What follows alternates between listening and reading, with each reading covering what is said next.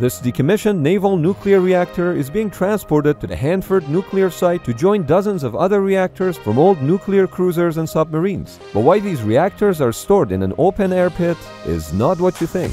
When a nuclear submarine is decommissioned, the fuel is removed, the fluids are drained, and the pipes are sealed. And then the entire reactor compartment and adjoining areas are cut off from the submarine. Steel plating is welded on each end to seal the compartment. The reactor is then transported on barge on the Columbia River, and then the Beauty and the Beast take over the transportation. I get the regulations and all, but I think before you can read the oversized sign, you can already see the giant reactor.